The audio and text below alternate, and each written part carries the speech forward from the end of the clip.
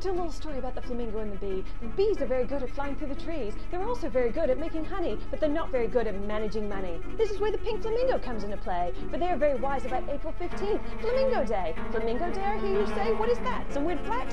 No, it's the day that, that bees and birds and bees together come together to pay tax. Hmm, let's go back to the beginning when the flamingos weren't even pink. They lived in a swamp where there was nothing to drink. A young flamingo walked by and met an angry bee. An angry bee that was about to sting everyone in his melee. So the flamingo said, Why are you so vexed? Because, you know, I can't pay this darn tax. Hmm, ho hum, thought the flamingo, what could be done while he sat there and ate his flax? Why, yes, oh yes, of course, he could use TurboTax. It's a product so easy that even Mr. B could max. So, the young flamingo went and showed Mr. B how his taxes could be made easy. And Mr. B wasn't even angry, he didn't want to make a stink, and gave the gift of being pink.